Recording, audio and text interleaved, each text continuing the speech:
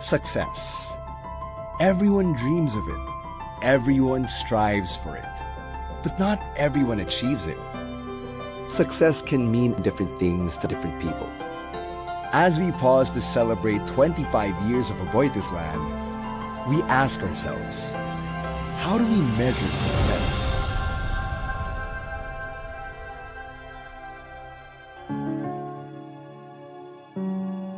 Aboitiz Land was founded in 1994 with humble beginnings in a small office and a vision of creating quality, innovative properties for the Cebu market. And our very first residential development, Northtown Homes, a master planned community now touted as Cebu's most prestigious address. Our very first industrial development, West Cebu Industrial Park in Balamban, a sprawling 268 hectare industrial estate ideal for medium to heavy industries such as shipbuilding and allied activities that helped create thousands of jobs for the residents of Balamban and transformed it from a fourth class to a first class municipality. Our first commercial development, the outlets at Pueblo Verde, the first outdoor outlet mall in Cebu offering exciting new shopping and dining experiences. Emboldened by the success of these pioneering developments, Aboitiz Land ventured forth into bigger and more ambitious projects, spreading its footprint in Cebu and beyond. Aboitiz Land in 2019 has grown by leaps and bounds since our first inception. Our workforce has grown exponentially, and so has our business. Thousands of hectares of land have been transformed into innovative, deliberately planned, and purposely designed residential, commercial, and industrial communities that elevate the living experience. And with our growth come the rewards, not only in revenue, but also in things far more valuable, like the number of people whose lives we have touched and changed for the better, our vecinos. Aboitiz Land takes this further with various programs designed to give Filipinos a chance to create better ways to live for themselves, ensuring that our developments positively impact our neighbors and our surrounding ecosystem, advancing the communities that host us as we advance our business. No matter how we quantify 25 years of achievements, it is what we have yet to do that holds the most promise for Aboitiz Land. More strategic partnerships to be forged. More fully integrated townships to be built. More industrial parks that fortify businesses and create opportunities. More commercial centers that elevate lifestyles. And more residential communities where individuals and families will live love, and grow. Aboitiz Land. After 25 years, one thing is clear. We've only just begun. As we cherish our glorious past and celebrate today's victories, we forge ahead into an exciting future.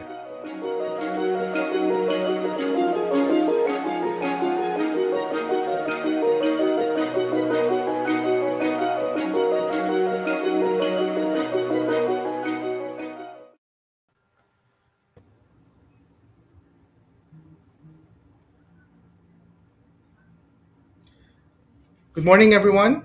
My name is Paul Chua, and I welcome you to our first Aboitiz Land webcast.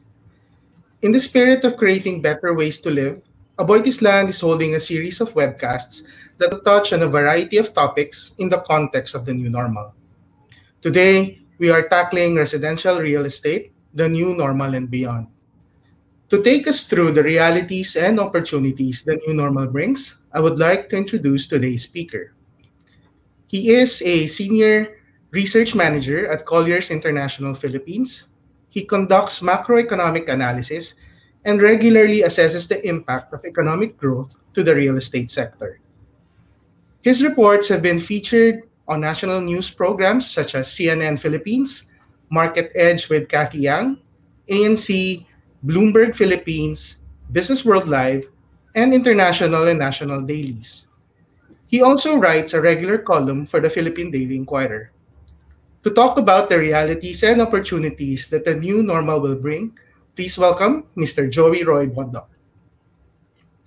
Thank you. Thank you, Paul. Good morning to Aboitiz Land and the good morning to our webinar participants. Um, it's really, you know, uncertain times that uh, we are uh, seeing right now. And um, I believe that uh, we are seeing the new normal uh, for the Philippine economy, for the Philippine property sector in general. And um, I would like to thank Aboitiz Land for inviting me and Colliers International to be part of this uh, webinar uh, on real estate, the new normal, and beyond. What do we see going forward, and how should developers and investors recalibrate amid the uncertainties that we're seeing in the market. So let me present you, let me show you my uh, screen. Okay, uh, just want to confirm if, uh, okay, so I think you can see it now. So let me uh, do a quick macroeconomic review. What do we see in the economy? Uh, what the government has announced so far. So, if uh, you're following uh, business and economic news, uh, you probably heard about the Philippine economy contracting by 0.2% in the first quarter of 2020. So a lot of analysts were somehow startled by that news because they were somehow still projecting a positive growth for the Philippines. So they are now looking at the deeper contraction for the second and third quarter of 2020. But what's optimistic uh, for the economy and for the property even is that the central bank, while it is forecasting a 0.8% contraction for the Philippine economy in 2020, it is projecting a faster recovery rebound, a 7.8% growth in the uh, or the annual growth for 2021. So that's that's a quick pickup from the contraction or slowdown that we are projecting for 2020. Now, this uh, slides here, the next few slides that you'll see, uh, just summarizes what these uh, multilateral agencies and credit rating firms are seeing um, for the Philippine economy in the next 12 months. So overall, they're all looking at a contraction, a slowdown for the Philippine economy, but they are one in saying that for 2021, we will definitely see an economic recovery. And of course, that should also benefit the property sector, residential development, especially condominium and house and lot projects being developed in key areas outside of Metro Manila, including Calabarzon and Cebu areas. Now, uh, there were initial concerns with the lockdown implemented here in Luzon because 73% of the country's economy is being generated in these uh, the Luzon group of islands. But what's optimistic also, and this as the slide shows you, is that the GDP per capita uh, here in the Philippines has continuously been increasing since year 2000. So even if we had the global financial crisis in uh, 2008, 2009, for instance, um, the um, GDP per capita of every Filipino or the income of every Filipino has continuously been increasing. And as you can see, uh, from 1,600 in 2000, this increased to more than 3,000 US dollars per capita in 2018. And of course, if uh, the incomes of Filipinos are rising, that gives them greater ability, propensity to buy houses. And uh, of course, every Filipino's aspiration is to buy his or her own condominium unit or house, right? So that should help propel the demand for residential sector here in Metro Manila. Um, if we're looking at the GDP growth per region, and as you can see here, some regions are doing even better than the national capital region, than Metro Manila. Look at um, Central Visayas, for instance, where Cebu is a part of, that's going by 7.6%. Central Luzon, uh, Pampanga is a part of uh, this region. Nueva Ecija is growing by 7.1%. Even Calabarzon, so we have Cavite, Laguna, Batangas, growing by 7.3%. So these regions have been um, dictating the growth of the Philippine economy and have even been outpacing the growth of the national capital region, the country's capital for economic activities. Now, in terms of share to GDP, these regions uh, outside of Metro Manila have also been contributing significantly to the country's economic output. Central Luzon, 10%, Calabarzon, this is a, a, a very good figure, 17%, and even Central Visayas, pretty decent uh, contribution, is about 6% uh, contribution to the country's economic output. So all these three regions are contributing for more than 30%, about a third of the country's GDP. So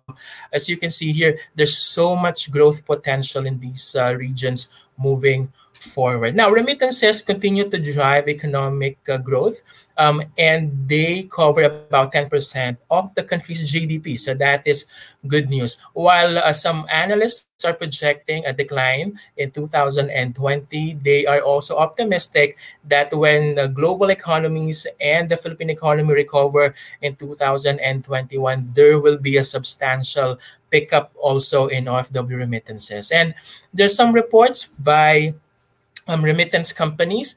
Uh, and according to them, 25% of the money being sent in by Filipinos is being allocated on loans. And out of those loans, of course, a huge chunk of that is uh, the money allocated for housing loans. So um, if we see OFW remittances growing, definitely we will continuously see that allocation for housing continuously rising here in the Philippines. And as I mentioned, those uh, key regions that I, I highlighted uh, previously are also contributing a lot to OFW deployment. Imagine a Central Luzon, which covers also Pampanga Nueva Ecija, accounting for 14% of total deployment in uh, 2018. Calabarzon, 18% uh, share the total OFW deployment in 2018 and also Central Visayas covering 6%. So um, anecdotally, we believe that um, the remittances being sent in by Filipinos working abroad is also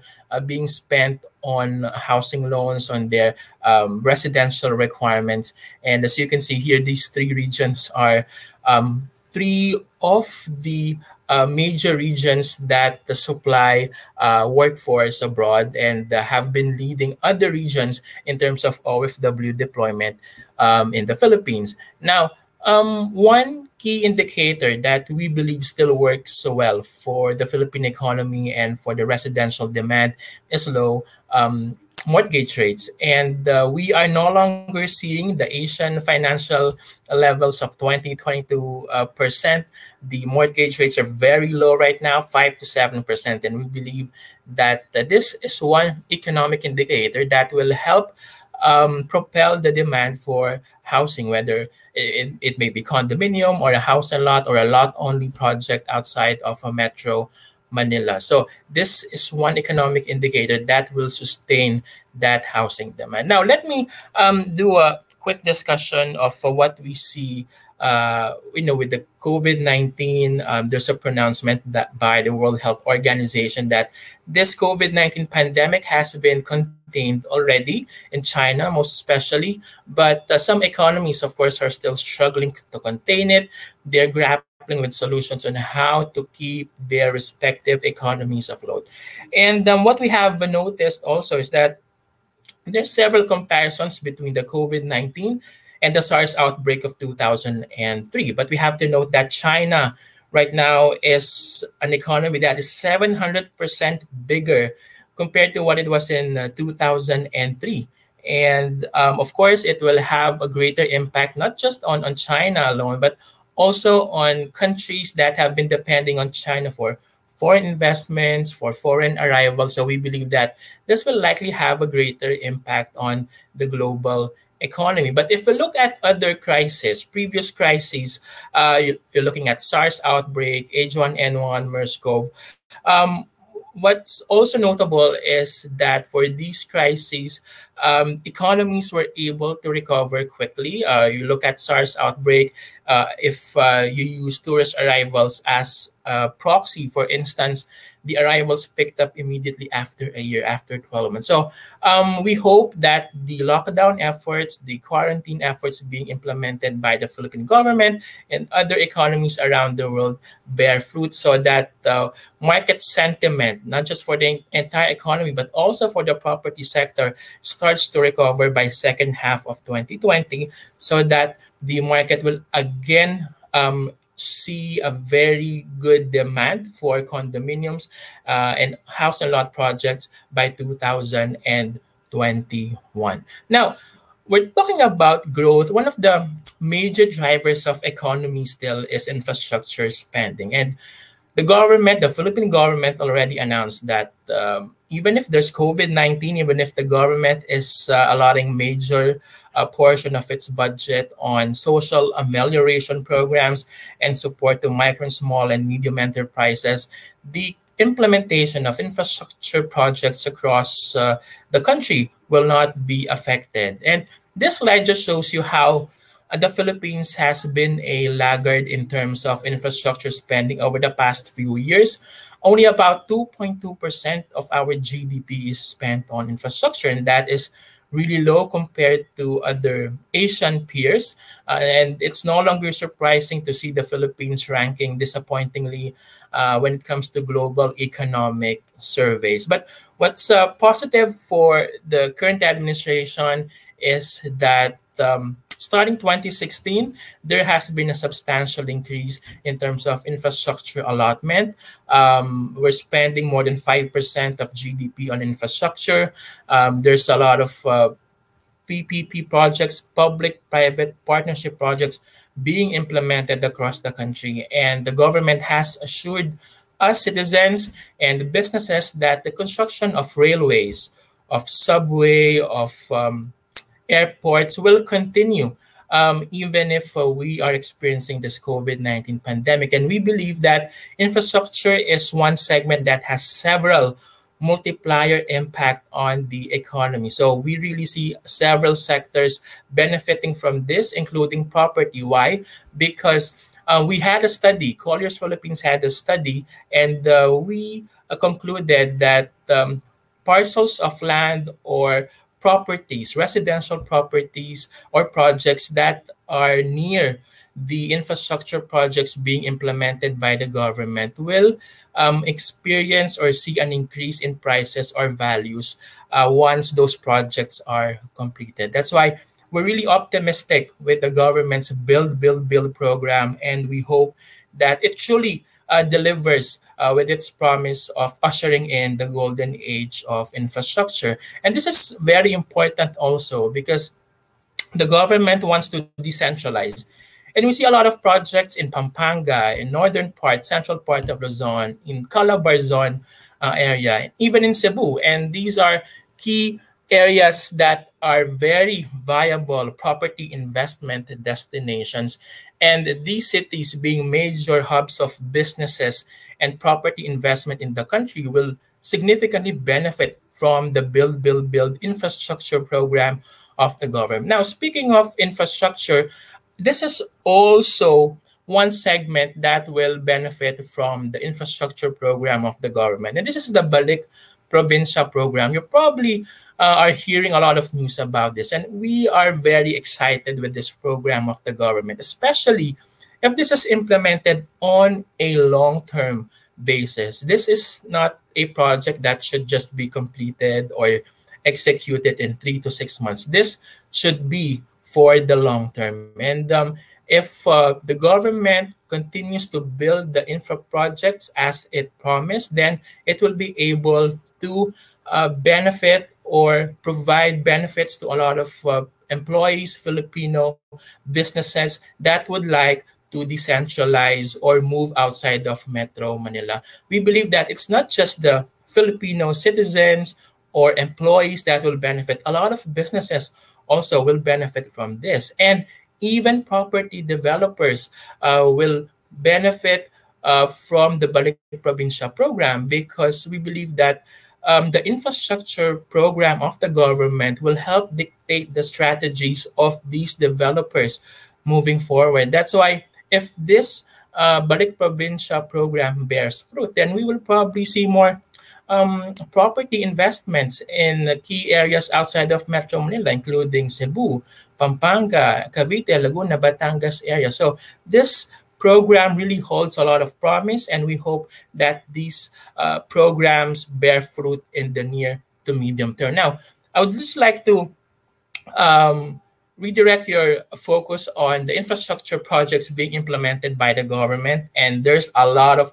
infra projects that uh, are still being constructed, and this will be completed even beyond the administration of the uh, current uh, president. But uh, we believe that, again, this is for the long term, and uh, this will benefit not just the current administration, but succeeding administrations as well. You have, of course, the NLEX SLEX connector road, which will benefit, say, the likes of Pampanga and in the northern central Luzon area, as well as Cavite, Laguna, Batangas in southern Luzon. You have the Skyway Stage 3. Now, this is a very interesting project, especially from for Kapampangans like me because this will ease access from Metro Manila all the way to northern part of Luzon, including Pampanga, because this practically helps ease traffic within Metro Manila. So I believe that a lot of uh, um, employees that are based in Pampanga or Bulacan or northern part of Metro Manila will really um, uh, wait for the completion of this project. And this is uh, originally due to be completed in 2020. Um, SLEX Skyway Extension, again, this is one project that will benefit uh, residential house lot projects in Cavite, Laguna, Batangas area because it helps ease uh, traffic uh, leading to those cities outside of Metro Manila. You also have a few projects that will further move uh, north northern part of Luzon, including TPLEX extension. Of course, Clark uh, Airport expansion is another exciting uh, project because it will help prop up residential investment and residential demand in major locations north of central north of uh, Luzon, including Pampanga. Uh, Manila Clark Railway, I think uh, this is another project that will complement the Clark Airport Extension or Expansion Project. And this will extend all the way from Manila to uh, Bulacan as well as Pampanga. So really an exciting project, especially for those investors and end users looking for properties in Pampanga. Central Luzon Link Expressway.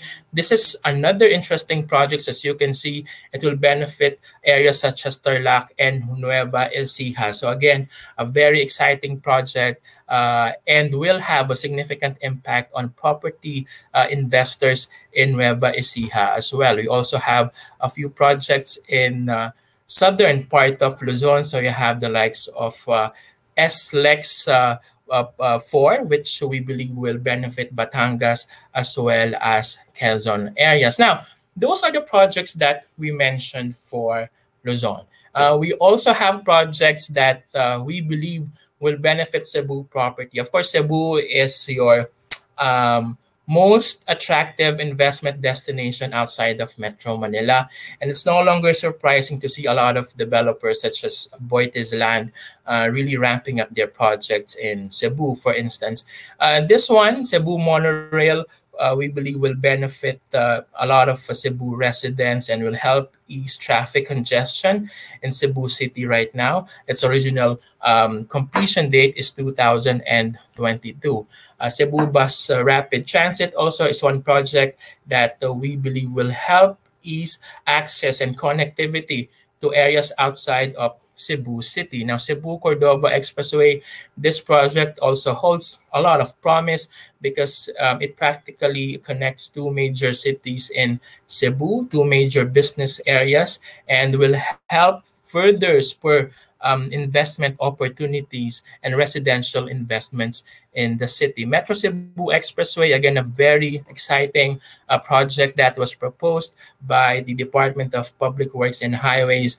And this will further cut uh, travel time uh, in key cities in the Cebu area. So overall, these infrastructure projects definitely will help spur the demand for residential uh, projects in Metro Manila and even outside of the capital region. But um, let me first focus on the Metro Manila condominium market. We have been receiving a lot of queries. What is happening to the Metro Manila condominium market uh, right now, especially that we're seeing the new normal. A lot of uh, developers are adjusting, investors are on a wait and see. But what do they see uh, going forward? And when will they invest? When will they finally offload that much uh, saved investment or money? And when will they finally acquire that condominium unit?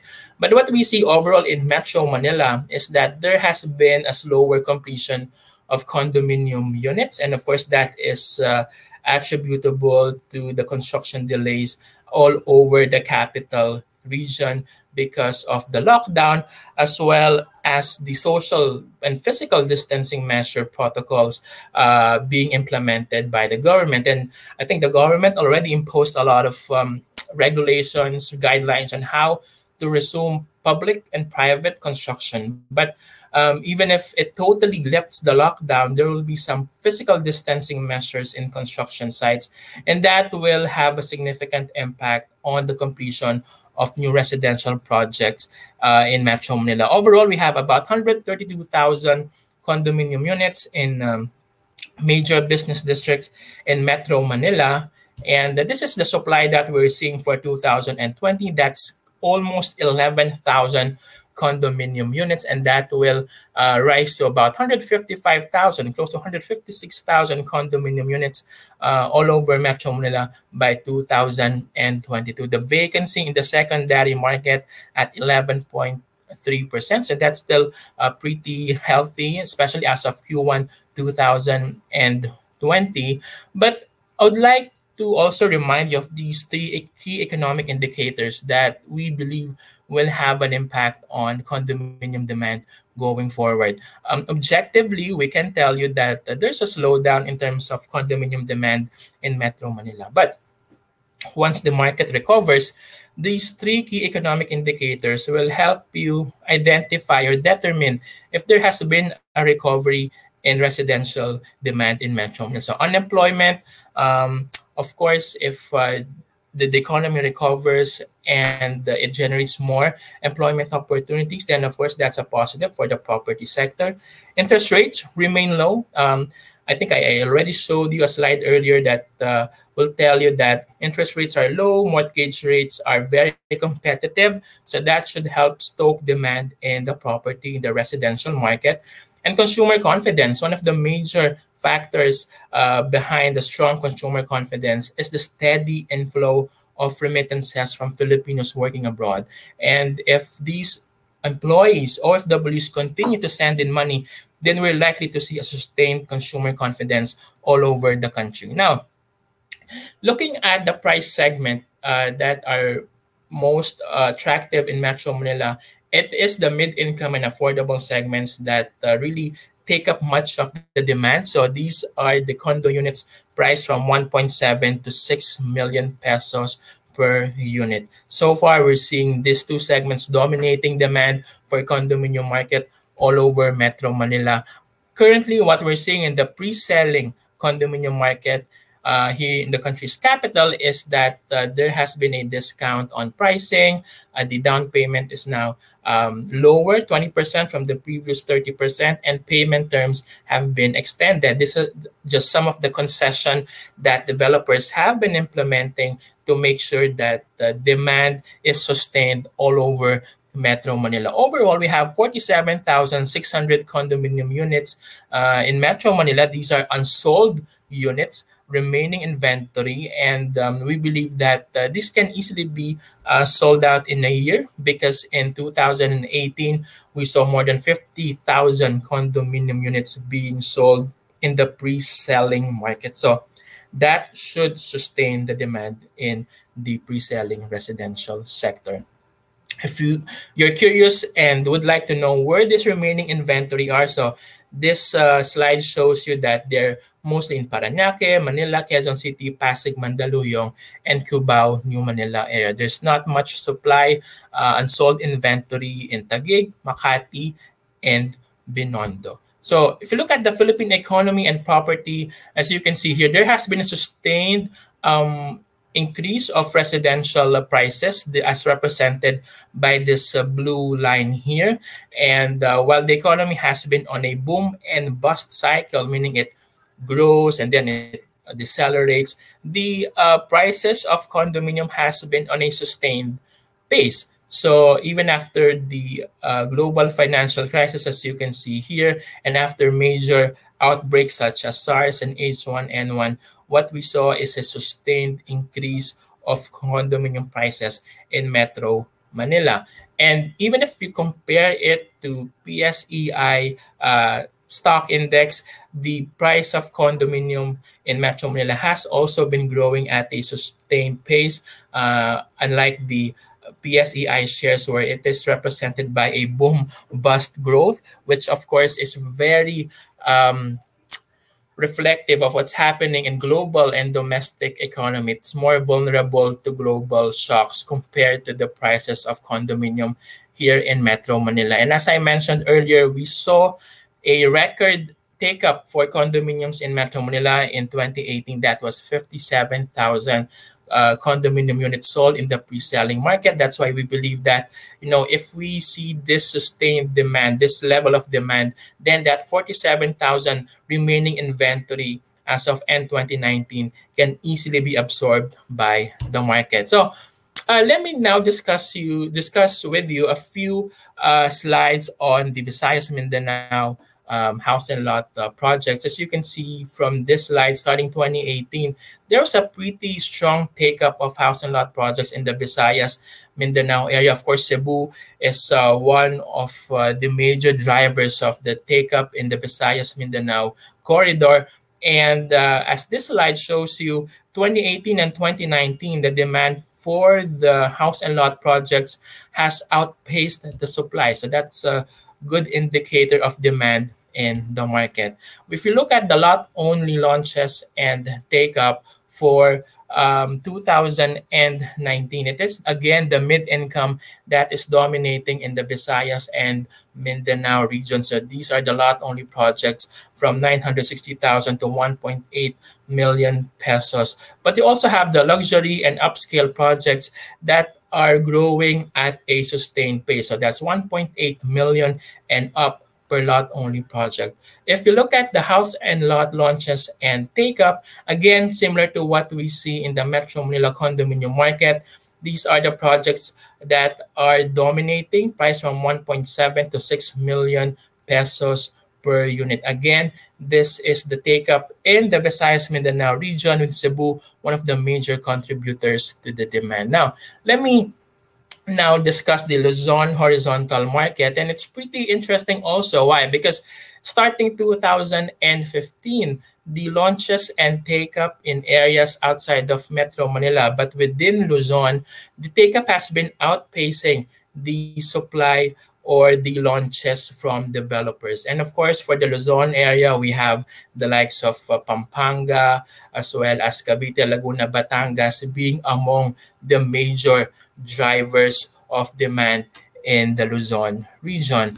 And even for the lot only uh, take up, that is a pretty strong indicator also of how much is uh, being sold in the market and which is the most attractive segment. Um, this is we were pleasantly surprised when we saw this slide because as this slide shows you, it's the luxury segment that is dominating 2.4 million pesos per unit and up. Uh, we also see a strong demand from upscale and mid-income, 960,000 pesos to about 2.4 million pesos per lot. So these are, you know, some projects that are in major urban areas outside of Metro Manila, such as Pampanga, Cavite, Laguna, and Batangas region. For the house and lot launches and the take-up, we're seeing a good demand also for the upscale, affordable, and mid-income segment. So oh, these uh, three segments alone accounting for more than 80%, nearly 90% of the demand in the Luzon region. So that shows you uh, or indicates the purchasing power of investors as well as end users of house and lot projects in the Luzon And the take up for Calabarzon was also is also a pretty um, pretty good. I mean, looking at the take up, uh, the pace of take up starting 2011, there has been a pretty good the record of a take up. Again, we see that demand growing uh, at a faster pace compared to supply. So um, while we might see some slowdown in terms of demand for 2020. It's this pent up demand that uh, we saw starting 2011 that will help prop up uh, take up in the Calabarzon uh, residential market. And we believe that, you know, once uh, uh, the global economies recover and the Philippine economy uh, picks up uh, and recovers its lost, lost ground in 2020, then we will again see this pent-up demand for residential market in the Calabarzon region. So we're still optimistic with what we see in the market, uh, especially with this slide from uh, for Metro Cebu showing you again a strong take up that we have been recording for the house and lot projects in the Cebu area starting 2014. In fact, for 2018, we saw a record high take-up of 2,555 house and lot units in Cebu. So that shows you uh, how strong the demand has been in Metro Cebu for the house and lot segment. So let me just uh, give you a few insights on what we see overall for the residential market. Um, for the supply, um, we are now seeing a slower completion again because of the COVID-19 pandemic, the lockdown imposed by governments in Metro Manila, local governments, city governments in Luzon, as well as in Cebu. So we will definitely see a slower uh, completion of residential projects, condominium or house and lot for 2020. But we believe that once this lockdown has been lifted, there will definitely be a recovery in terms of new supply in the market. For the demand side, we believe that uh, there will be some slowdown for 2020, mainly because um, there's a uh, some concerns about the local economy as well as some uh, countries wherein we have uh, OFW sending in money to finance their housing loans. But um, a lot of analysts are projecting, multilateral agencies are uh, forecasting a recovery by 2021. Asian Development Bank is pretty aggressive with its forecast for 2021. In fact, they are not seeing a drop in remittances for 2020. So all these factors we believe should help uh, recover uh, in the recovery of the condominium and house and lot market in the Philippines for 2021. And not just that, a lot of um, analysts also are looking at very low interest rates uh, in the near term. The central bank might be more um, aggressive in cutting interest rates, so that should result in lower mortgage rates. So those um, investors or employees in the Philippines or OFWs that's are still awash with cash and have the potential still to buy condominium units will be looking for bargains in the market and that should also support or add another layer of demand in the market. So um the, the econo economic recovery by 2021 and we also are seeing that in the office market will help drive the residential market all over the Philippines especially in key areas outside of Metro Manila. Now we have a few recommendations also for developers especially you know we're seeing this new normal this webinar that we're doing now is a new normal. We should probably be uh, having this in a, a hotel conference uh, uh, convention center. But because of the new normal, the COVID 19 impact, we are doing this through a webinar, through a call like this. But let me just uh, show you a few recommendations for developers, especially um, how should they capture and or recapture the demand um, going forward. So they should offer more flexible packages, lease terms, we believe a lot of developers are doing this already, both in the pre-selling market uh, as well as in the secondary market, especially uh, for developers that have a high number of ready for occupancy units.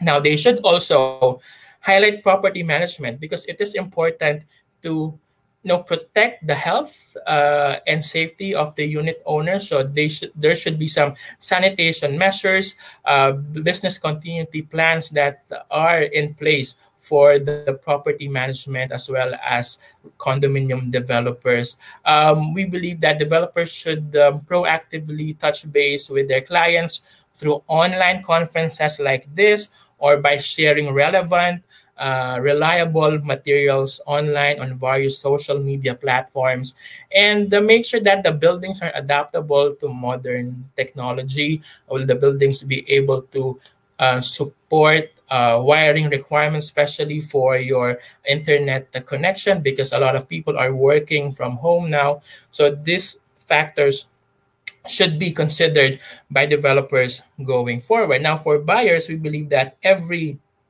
residential investor is opportunistic in nature. So they will definitely be looking or be scouting for cheaper options in the market. But as I mentioned earlier, a lot of investors that still have the capacity to buy condominium units will be looking for cheaper options in the market, especially with the interest rates remaining low and the central bank planning to further cut interest rates. Now, um, for buyers, we have observed that a major consideration for them is to buy condominium units within integrated communities. And that demand is understandable because you know this global pandemic this covid-19 pandemic has really affected the way we live the way we work.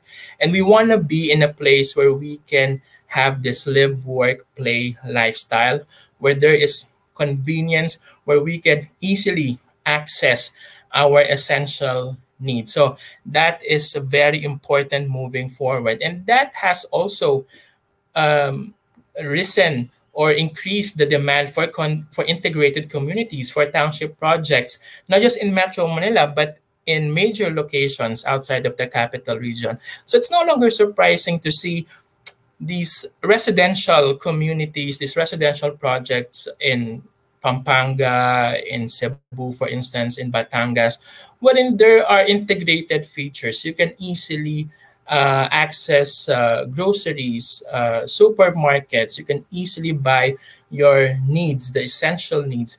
And this will likely be the trend growing forward. And one reason why we see integrated community development becoming a trend moving forward is we believe that developers will follow the infrastructure projects being implemented by the government. So if these projects are extending all the way to Pampanga, then we are likely to see developers building more projects north of Metro Manila. But what's important also is that developers integrate other features within their integrated community. So education, healthcare, and other recreational uh, facilities should also be in that integrated communities.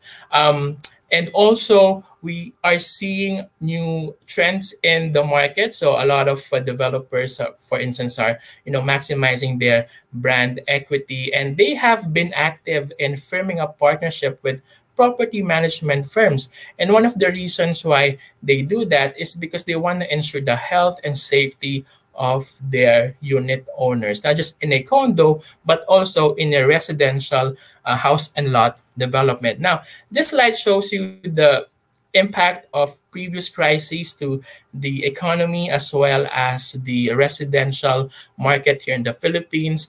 Um, for 2020, this COVID-19 pandemic, we are likely to see a U-shaped recovery. So by 2021, there should be a stronger demand in the market. There should be a recovery. And that, of course, should help the property market. And um, the demand, of course, will likely kick in starting Q1 of 2021. But for you know a lot of investors in the market that are still looking for projects, of course, they are aggressively looking for bargains, and this should benefit uh, residential projects, not just for condo, but also for house and lot projects all over the countries, all, all over the key cities across the country. Now, these are just some trends that uh, we have been seeing uh, given the COVID-19 pandemic, its impact on the economy and its impact on the residential demand of uh, Filipino household and OFWs, um, how have they been rethinking their strategies, their investment strategies, their demand? When when should they uh, finally acquire that uh, much needed condominium unit or much deserved house and lot unit? So one of the trends that we're seeing is the demand for bigger and more open spaces. And uh, a lot of um, Filipino uh, residential buyers are also looking at less dense communities. Um, I've spoken with a lot of brokers, and according to them, they're pleasantly surprised that a lot of residential buyers, especially those that are currently living in Metro Manila, are now looking for units outside of NCR. So they've been receiving queries for residential units in Pampanga, in the Calabar Zone area, Central Luzon region, so this is uh, one trend that uh, we are seeing. Also, um, the business continuity plans of a lot of companies have been compelling them to locate outside of Metro Manila. And Cebu is one of those cities that is very attractive for BPO operations, for instance, and of course the expatriates and some employees will be looking for residential options in these cities. So that should further uh, uh, result in a higher demand for residential uh, units in areas like Cebu. Convenience in a township is a very important feature. Is there a clinic near or within your township? Is there a supermarket, a grocery store that uh, you can uh, immediately go to. So these are key considerations for residential buyers. Developments outside of Metro Manila, there is this Salamudi study where uh, they the survey results show that there has been a growing demand for um, projects or residential units outside of core locations in Metro Manila. So they've been aggressively looking for um, residential investment uh, destinations outside of Metro Manila. So those key provinces that I mentioned earlier should benefit from this. And also infrastructure-driven development. So as I mentioned, the government's uh, infrastructure program, Build, Build, Build, Golden Age of Infrastructure, should help dictate the strategies of developers moving forward and will help raise land and property values in key areas outside of Metro Manila. And this should also dictate the residential investment options or preferences of Filipinos or households uh, that are continuously aspiring to have or own their own house or condominium here in the country. So overall, uh, we believe that um, the economic recovery in 2021 will help anchor the uh, growth or recovery of residential demand here in the Philippines. And as I mentioned, there's a lot of programs that the government has lined up, um, infrastructure development as well as Balik Probinsya. And these programs will definitely help the government in its goal of um, instilling or providing an inclusive growth and should also help uh, a lot of residential investors and buyers decide where should they locate and where should they buy their first condominium or house and lot. We believe that um, the economic recovery, global or domestic, will help uh, restore uh, confidence in the property sector. And a lot of uh, Filipino uh, residential investors or buyers will be um, more excited as we see all these infrastructure projects all over the country, as well as uh, the economic recovery that we are likely to see starting 2021. So again, that should further stoke interest and demand in the country's property sector. So that uh, concludes my my presentation. I hope you got a thing or a, a thing or two from from the uh, trends that I presented, and I hope you were also able to weigh your options now, your residential investment options, uh, especially with uh, the government's program and what do they intend to implement over the next few quarters. So that's it. I now, uh, Paul, do we have uh, questions from our webinar participants. Yeah, thank you, Joey, first no, for yeah. your very in-depth uh, presentation. Before we go on to the questions, I just have a couple of things that I want to ask yeah. you. Sure. Um, so first, do you think what sort of recovery are you seeing in terms of the re- real estate market? When do we start feeling that we're back to where we were pre-COVID? Okay, what we always tell investors is that if we are able to see uh, recovery or if the lockdown and quarantine efforts start uh, to bear fruit the end of June of this year, then we're likely to see um, market sentiment stabilizing or improving second half of 2020. So um, overall, what we see is that while we might experience a slowdown in demand because objectively the economy is down, a lot of business uh, activities are slowing down even global economies are you know grappling to keep their economies and businesses afloat. Um, the recovery will probably happen uh, early 2021. So that's when we will see a spike in demand. Especially, you have to note that interest rates remain low, and uh, you know the, the financial system of the Philippines is in tip-top shape. Interest rates have never been this low. So those are two key factors that will help uh, propel demand and confidence in the residential market. So that should uh, kick in starting 2021. I think uh, no, I agree with you. No, uh, interest rates are still low. Yeah, which yes. would hopefully you know bring demand back to the same level. Exactly. Exactly. Yeah. And in fact, uh, as I I think I mentioned this earlier, we're no longer seeing the mortgage rates of uh, Asian crisis period of 20, 22%, uh, right? So I was still uh, in, in elementary then. I don't, I don't know about you, Paul, but you know, this is, you know, but the low mortgage rates that we're seeing now really help uh, stoke the, the property market and should help instill uh, confidence in the condominium uh, house and lot market here in the Philippines. That's good. Um, you also briefly mentioned in your materials that uh, we're starting to look at density as a concern exactly. or as a whenever you're looking at uh, buying into or yeah. investing into real estate. Yes. Um, with the new uh, Balik Probinsya program, how, how do you think this would work or how would we make it work? No? How would the government make it work?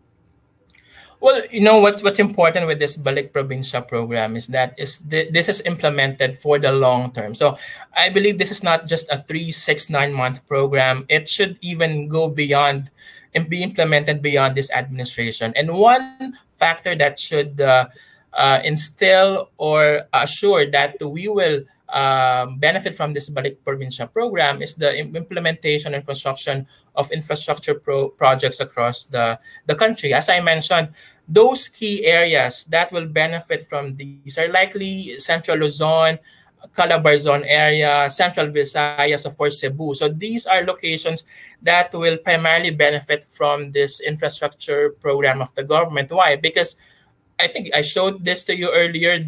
These key regions have a lot of contribution. In fact, I think more than 40, almost 40% of the country's annual economic output. Metro Manila a, a very small region compared to these uh, regions, but they, it already contributes 38% to the country's economy. But the uh, these three three regions, uh, they already cover about nearly 40%. So that's huge, right? Uh, and of course, uh, the we expect the government, national government, to focus its infrastructure implementation projects on these three key regions that contribute a lot to the country's economy. So um, I think even with the with with this you know density issue, uh, when we when I spoke with a lot of brokers, they mentioned that um, those that are looking for second home outside of Metro Manila have been aggressive in you know inquiring about uh, projects outside of, of NCR. So uh, they're looking for second home residential unit in Cavite, in Laguna, Batangas, even Pampanga. They're looking for areas that are less dense compared to Metro Manila. Of course, Metro Manila, one of the most dense uh, mega cities in the world. So they're looking now for these less dense communities. And we believe that these are just some uh, areas that uh, will benefit. Of course, Cebu is your probably your second biggest, most attractive property investment destination. Uh, it is the most attractive outside of Metro Manila. So it is very, you know, just automatic, natural for uh, res residential investors and, and buyers to gravitate towards these regions and cities. Yeah, I think uh, I agree. No, uh, we and we are seeing it in AboitizLand, um, we, because we have uh, second home uh, type of developments. Yep. Um, the one in Batangas, seafront residences, we've received a lot of inquiries during the yeah. COVID, the pandemic, and as well as in Cebu, in Foressa, uh, yeah. which is located in Balamban, a province. Exactly. So I mean, exactly. people really are looking into better master plan communities. Yes. you know, yeah. not and all of the, that. Yeah, the convenience of being in an integrated community, it's a major consideration for buyers. I mean, even before the COVID-19 pandemic, right? It it has been a trend. But now that we see, see this lockdown and its impact on how we live, now it has really you know the demand for for these integrated projects has really surged because of the covid-19 and the lockdown uh, imposed all over key cities across the country okay um, I, I, still have a lot of questions. Sure, I, sure. I think we have to give way to our viewers. Yeah, I think uh, we have a lot more time more time for, for yeah, that. So let's go to the questions posted. Can we yep, see it? Sure. Okay. Um, why should people invest in real estate at this time? I think well, as I, the person to answer this. As, as I uh, mentioned, no, if you come here in the Philippines, we have limited uh, investment options. So you have the stock market, for instance, and you have the property market. And uh, as I mentioned earlier, and I showed the slide which shows the the, the stock prices, they're very vulnerable to global economic shocks. But for the property market, there has been uh, a sustained pace of increase, especially after the Asian financial crisis of 2000. Uh, in fact, here in the Philippines, if you look at, say, condominium investment or any residential investment, the yield is at about 6 to 7%. And that is one of the highest in the Asian region. So it's no longer surprising to see um, peers from other Asian countries looking at the Philippines because you know the Philippines is one of the fastest growing economies in the world even before this COVID-19 pandemic. And in fact, it's one of the regions that a lot of analysts are seeing um, um, shielding uh, or evading this crisis that will be brought about brought on by the COVID-19 pandemic. And you know, this just tells you how competitive the country is, how uh, aggressive the or sustained the GDP growth has been over the past few years. And of course, with these economic factors alone, we can tell you that uh, the Philippine property market is one of the segments that will benefit. We have uh, still a very young mobile workforce that uh, you know has been driving the economy. So you also have to look at the rental prospect. If you say buy a condominium, will there be some employees that will be leasing out these condo units moving forward? You also have to look at the infrastructure projects being implemented by the government. Once those are completed, then surely the demand towards those areas will surge. So again, the Calabarzon, uh, Central Luzon regions, those are very attractive locations. And, you know, it won't be surprising to see a lot of manufacturing investments that will also gravitate towards the industrial locations in those areas because Calabarzon and Central Luzon are you know two major industrial hubs in, in not just in Luzon but for the entire country.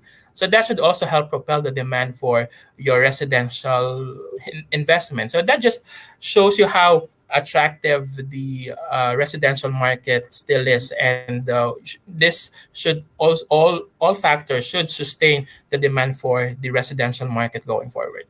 Yeah, and also I think that people always associate real estate prices with condominiums in Metro Manila. Yes.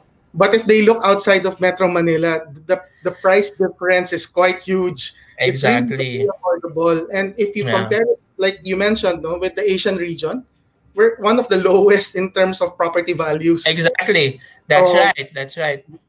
If we compare versus say Bangkok or Malaysia or you're right, China, Singapore, Hong Kong, most especially, we have one of the lowest prices in, in the region. That's why those uh, investors from Asia that are you know trying to maximize their money and, and the earnings and the yields are really uh, looking at the Philippines as an investment option.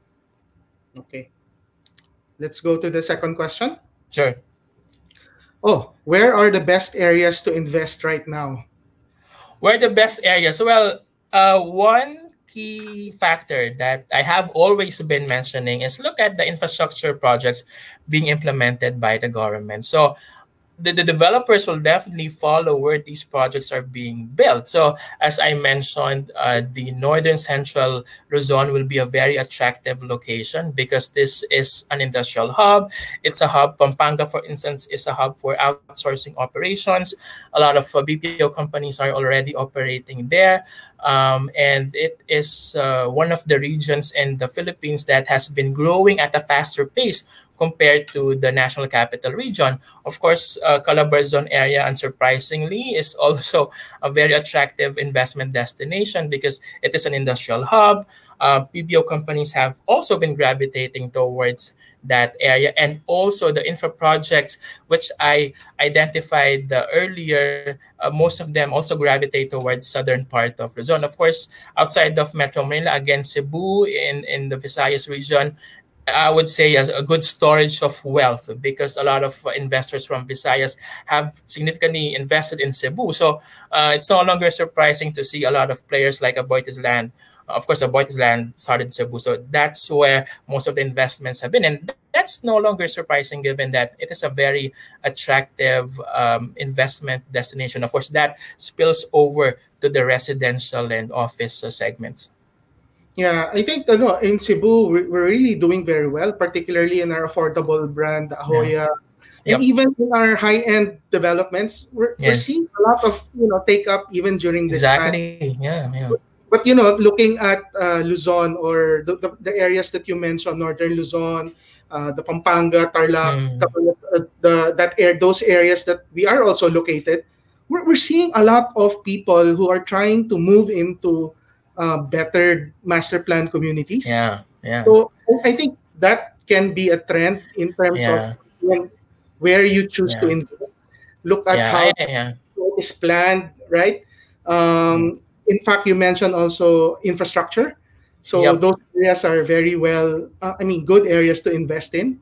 Um, those that are backed by industrial developments, like our project in Lima, uh, I think it's doing very well. No? I, I mean, people are really gravitating towards uh, areas of commercial activities. Yeah, I can. Yes, I, I can also support that, Paul, because uh, I'm from Pampanga. I was born and raised in Pampanga. I go back to Pampanga every weekend, except now that we're in a lockdown. Uh, and I can tell you that there has been a very aggressive completion of integrated projects in Pampanga. So, uh, you know, it has also been a trend and has become an investment trend for a lot of uh, Pampanga residential buyers. Okay. Next question. What else? Do, what oh. other questions do we have? Where are Aboitiz land projects located? I think um, Paul can, aside yeah, from so, those areas we mentioned earlier. Yeah, so, yeah. yeah, if, if you visit our website, it's all there. But just to give you a a background, no, we're mo- we're a lot of our projects previously were located in Cebu, so we have a couple of projects there. We have projects in Compostela, we have uh, projects in Balamban, so it spans from different type of markets, different type of products. But in Luzon, we have projects in Capas, in uh, in Tarlac, in in uh, Cabanatuan, and in Pampanga for Central Luzon. Southern Luzon, we have a project there in uh, Lipa, so it's it's mostly surrounded around those locations where we are. Yeah. Uh, but I get I guess visiting our web website, uh, registering, you'll get a more detailed um, information. So, yep, pretty comprehensive list. um, from our Facebook viewer, from Lisa Ramos, is this the best time to purchase a property, say residential lang?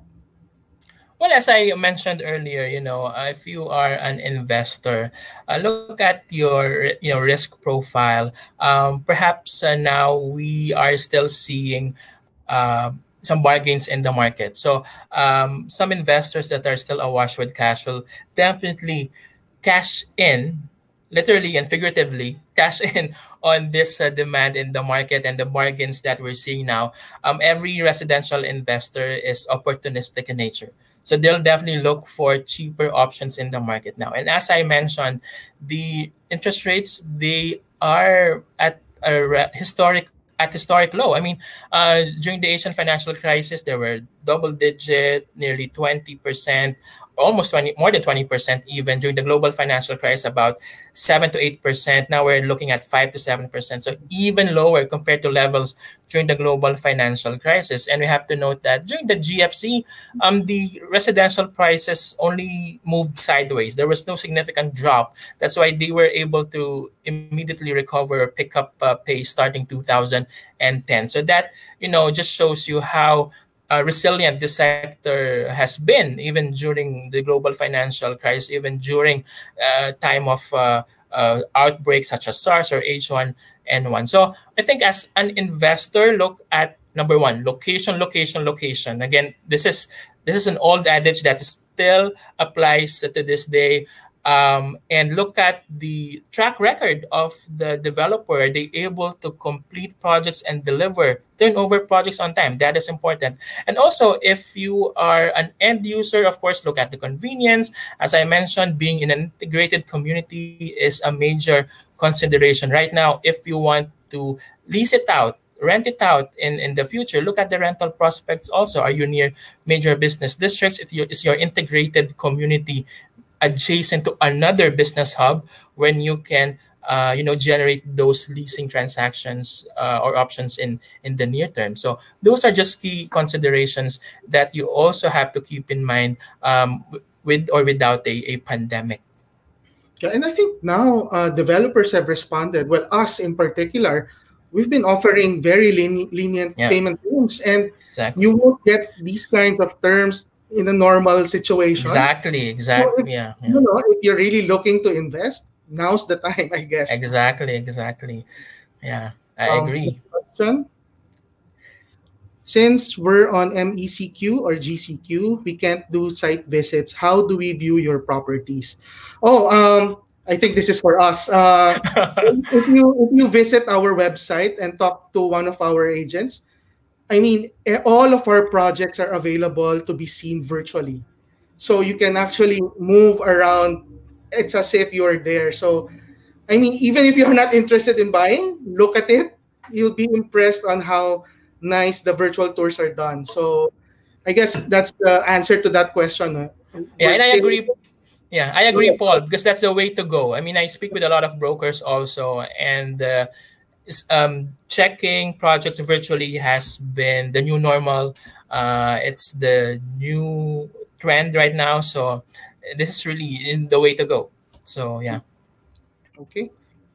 Next question.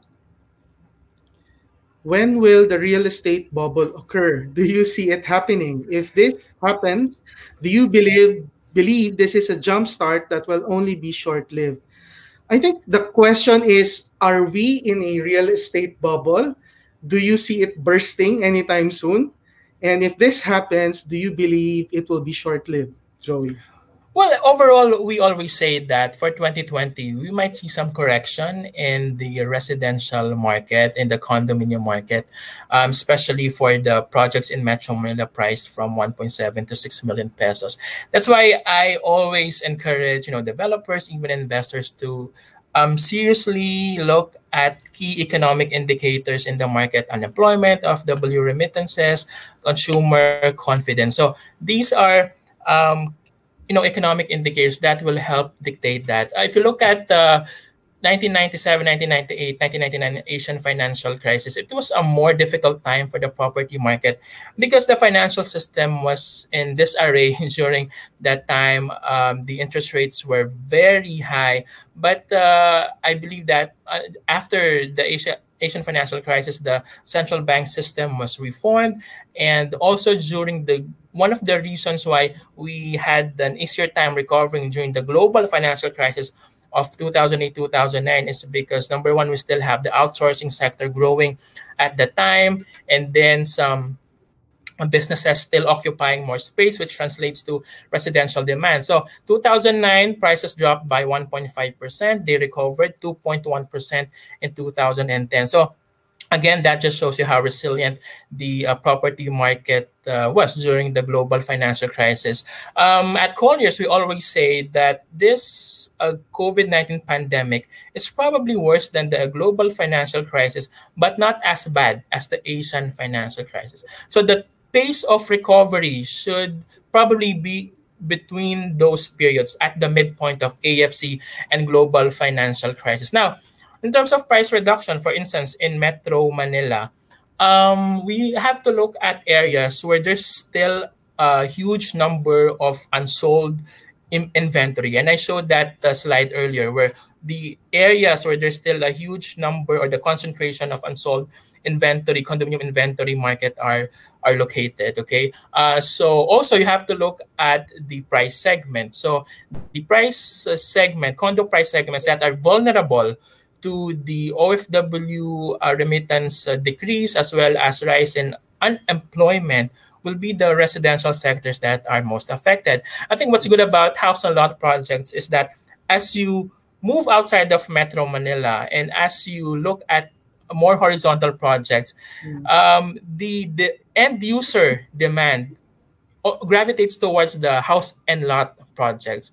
The vertical projects are prime primarily focused on you know investor mainly yeah. focused by on by uh, or driven by investor demand speculation. But the house and lot projects these are end user demand driven. So somehow that should you know sustain the demand for these house and lot projects in the medium to long term. Yeah, that's why you see OFWs buying house and lots for exactly. their family, right? Exactly. To give them a better way exactly. Exactly. And uh, there, there are several projections about OFW uh, remittances. Some are, you know, saying some gloomy projections drop, but you know, some agencies, say ADB, Asian Development Bank, is uh, saying that remittances will still grow, although at a much slower pace, but there's no contraction. And the central bank said that they still grow at a flattish rate. So I think that's one optimistic view on remittances, which should help them drive demand for uh, house and lot projects. Next question, please um, from our Facebook viewer, Agkawin. This is for you, Paul.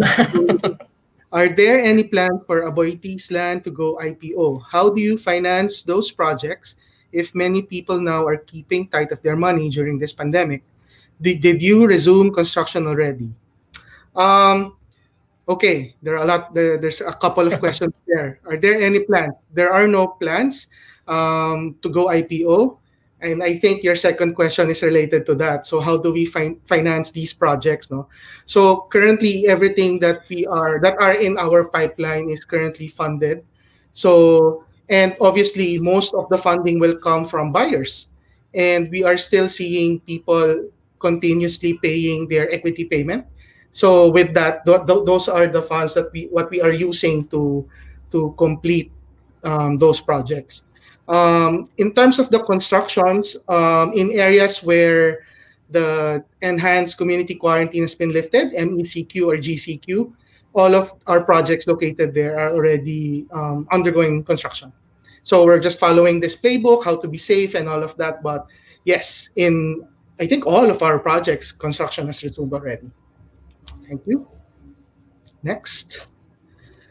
Is Aboitiz Land planning to have residential projects in other locations like Iloilo? Um, well, Aboitiz Land, we always, in Aboitiz Land, we always look at opportunities outside of where we are currently located. So we are looking at some areas. Unfortunately, I cannot mention that online, but um, yeah, we're we're always looking for opportunities. And if there's an opportunity for us to be in Iloilo, why not? If there's an opportunity for us to be in Davao, why not? I mean, we're always open to looking at uh, areas outside of where we are. But currently, we are planning other projects in other locations, except that I cannot mention it at this moment. May I add a few points, Paul, on a, you know, real estate market research point of view. I think Iloilo is this is a very interesting question because Iloilo is really one of the boom towns uh, mm. that has been identified by a lot of investors. Western Visayas uh, is one of the fastest growing regions as well here in the Philippines. Outsourcing uh, wise it is one of the most competitive locations for outsourcing in the Philippines. Uh, in fact, uh, Iloilo is an education hub in in Visayas, right? So a lot of uh, in outsourcing location outsourcing companies are looking at uh, expanding or putting up their first shop in Iloilo. So uh, I think uh, I cannot comment, of course, on uh, Aboitiz Land's uh, plans, but Iloilo is uh, one of the more competitive uh, location sites in the Visayas Mindanao region. So yeah. Thank you. Next question from our Facebook viewer, from Ken Andrew Mandigma. Hi, good morning. Will this pandemic affect the average value appreciation rate of properties? If so, how long will it take to recover? Well, we always say that uh, yes, uh, th- there could be a price correction given this uh, COVID 19 pandemic because uh, we are seeing a good number of, say, condominium prices uh, being um, or we see a back out in terms of condominium take up here in Metro Manila. So there could probably be some correction that we see in the market and some correction in terms of rental value. Um, the recovery, as I mentioned, if you look at the global financial crisis, if you consider the amount of period it took BPO companies to occupy space at, as a proxy, it took them six to nine months uh, to start leasing out office uh, space, for instance. So, in terms of recovery, uh, as I mentioned, it should be between the Asian financial crisis, which took the market a bit longer to fully recover, and the global financial crisis, which is a much shorter period of time. So, from six to nine months, we'll probably look at uh, 9 to 12 months for for this one and the recovery could start kicking in starting uh, early 2021 okay um, next question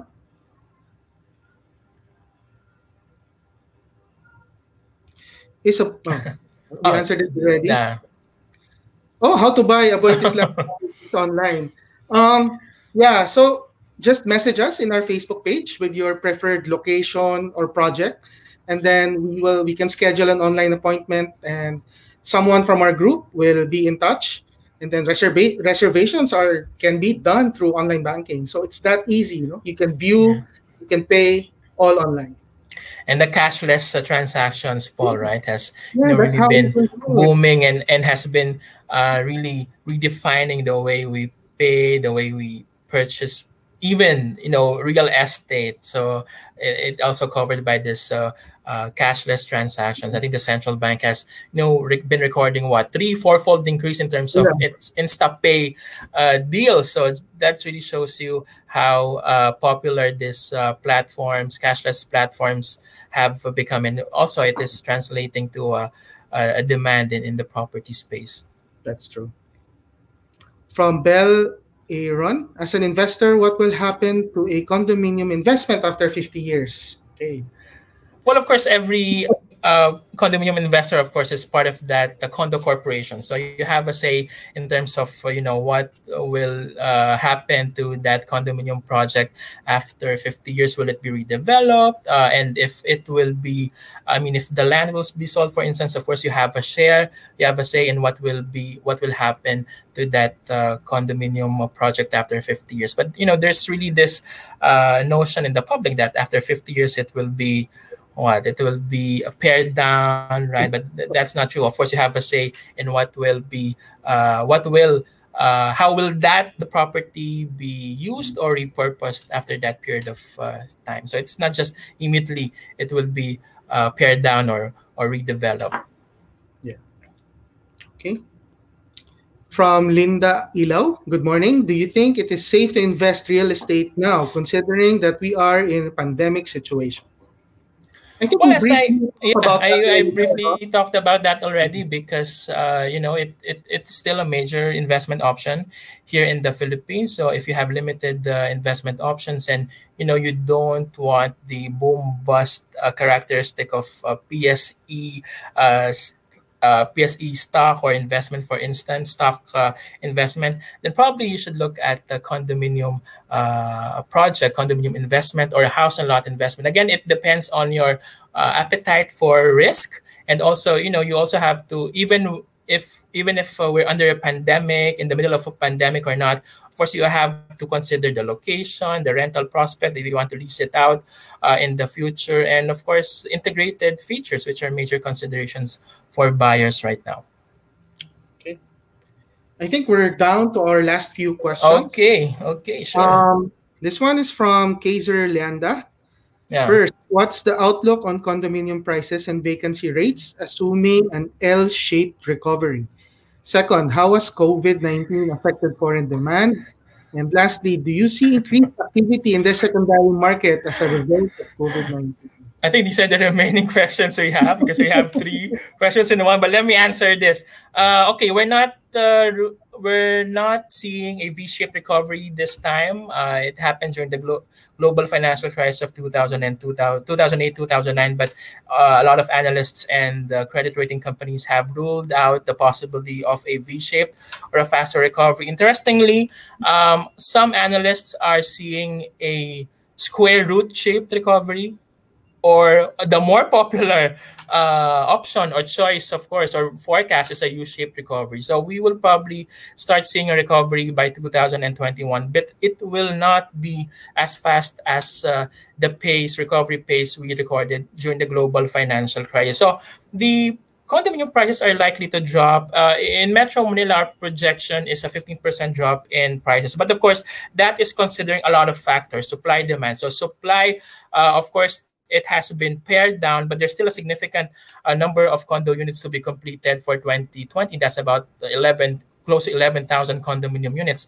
On the demand side, of course, we're looking at the leasing uh, options for the outsourcing companies, the POGOs, the offshore gaming companies. And if there will be no new POGO employees that will or Chinese investors that will occupy or buy new condominium units in the secondary market by 2020, then we will see vacancy in the secondary market rising from 11% to 15%. Now, the uh, drop in prices, of course, depends on the location. As I mentioned earlier, those locations that have a high concentra concentration of unsold inventory will record the steepest drop in prices. And those locations that have high exposure in terms of the affordable to mid-income condo prices, which are most vulnerable to price correction because of a rising unemployment and OFW remittance drop, will of course uh, record the steepest uh, drop uh, as well. And then the second question, how has COVID-19 affected foreign demand? Um, surprisingly, when I spoke with a lot of uh, brokers, from, from, from a lot of developers, there's still some institutional demand from foreigners in the Middle East, for instance, that are still considering um, buying condominiums here in uh, here in the Philippines. Uh, there's some, for example, physicians or FWs that have uh, you know contacts from other foreign uh, foreign colleagues who are looking at the buying condominium units. And according to them, uh, with the Philippines having one of the more affordable condo prices in the region, they're still considering buying uh, price condominiums here in Metro Manila. Um, in terms of POGO, okay, of course, that's a foreign demand still. The problem is in the office segment, the POGOs are still pre-leasing office space, okay? So they occupy um, paying rent good for 12 months. The problem is after 12 months, will they hold on to that office uh, space because there's no new POGO employees entering the market, right? Because of the travel restrictions. So if there will be no new POGO employees that will occupy additional space, it only means that there will be no new POGO employees or investors that will also buy or lease out condominium units. So that's uh, uh, how, what we, how we see it in, in terms of uh, foreign demand for condominium market, even during this uh, COVID-19 period. And then do you see increased activity in the secondary market?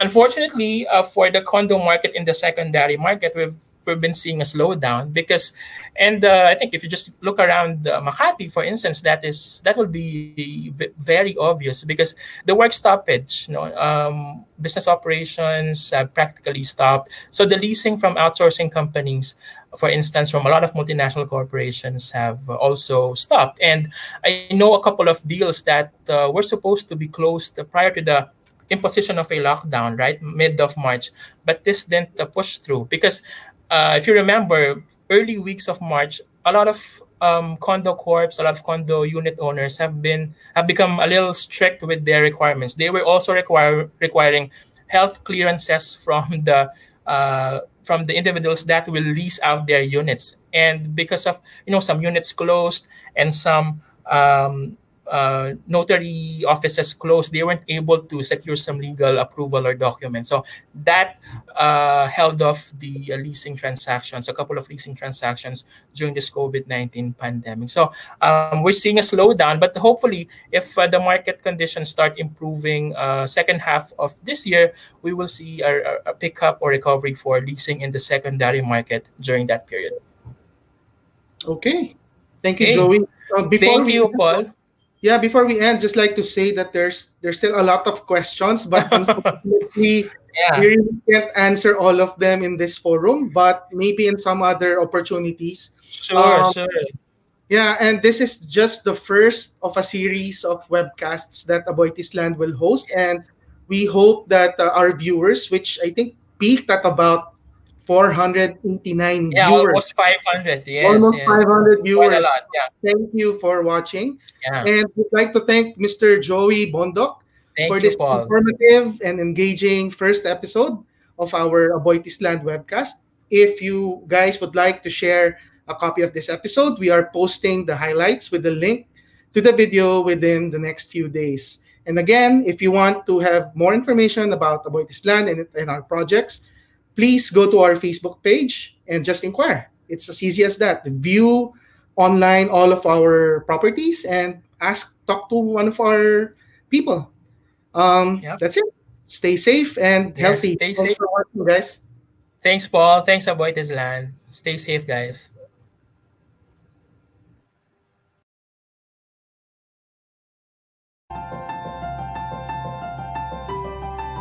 Success Everyone dreams of it. Everyone strives for it. But not everyone achieves it. Success can mean different things to different people. As we pause to celebrate 25 years of Aboitizland, we ask ourselves, how do we measure success?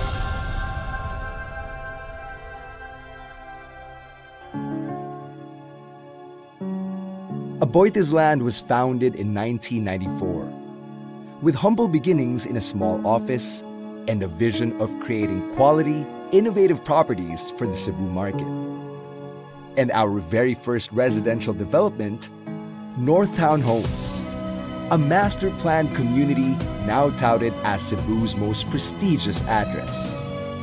Our very first industrial development, West Cebu Industrial Park in Balamban, a sprawling 268 hectare industrial estate ideal for medium to heavy industries such as shipbuilding and allied activities that helped create thousands of jobs for the residents of Balamban and transformed it from a fourth class to a first class municipality. Our first commercial development, the outlets at Pueblo Verde, the first outdoor outlet mall in Cebu offering exciting new shopping and dining experiences. Emboldened by the success of these pioneering developments, Aboitizland ventured forth into bigger and more ambitious projects, spreading its footprint in Cebu and beyond. Aboitizland in 2019 has grown by leaps and bounds since our first inception. Our workforce has grown exponentially and so has our business. Thousands of hectares of land have been transformed into innovative, deliberately planned, and purposely designed residential, commercial, and industrial communities that elevate the living experience. And with our growth come the rewards, not only in revenue, but also in things far more valuable like the number of people whose lives we have touched and changed for the better. Our vecinos. Aboitizland takes this further with various programs designed to give Filipinos a chance to create better ways to live for themselves, ensuring that our developments positively impact our neighbors and our surrounding ecosystem, advancing the communities that host us as we advance our business. No matter how we quantify 25 years of achievements, it is what we have yet to do that holds the most promise for Aboitiz-Land. More strategic partnerships to be forged, more fully integrated townships to be built, more industrial parks that fortify businesses and create opportunities, more commercial centers that elevate lifestyles and more residential communities where individuals and families will live, love, and grow. AboitizLand. After 25 years, one thing is clear. We've only just begun. As we cherish our glorious past and celebrate today's victories, we forge ahead into an exciting future.